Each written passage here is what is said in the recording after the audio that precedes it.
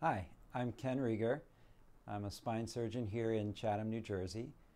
I am originally from a small town in Pennsylvania, somewhere near the center, and I had done my undergraduate studies at the Johns Hopkins University, where I got a biomedical engineering degree.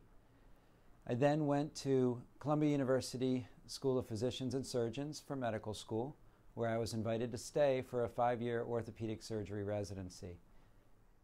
My approach to spine care is simple.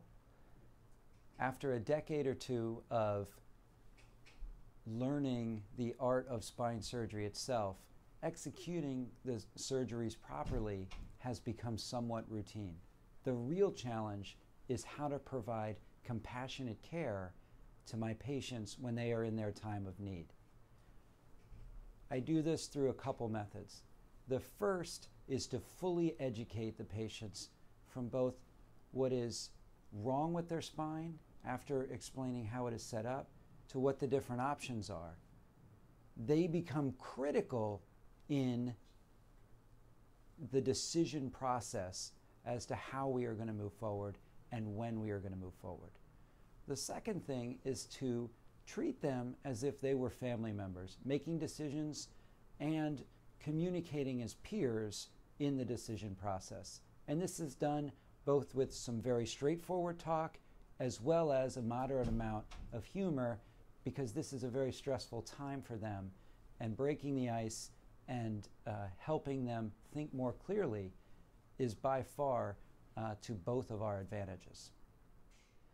By educating the patients and teaching them about their bodies and their spine, they can best understand how things have gone wrong, what the different treatment options are, and when is the right time to execute certain treatment options, from therapies to medicines to injections.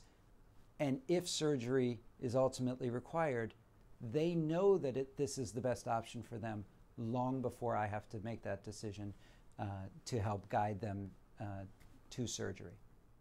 My patients can expect to be treated with compassion and respect.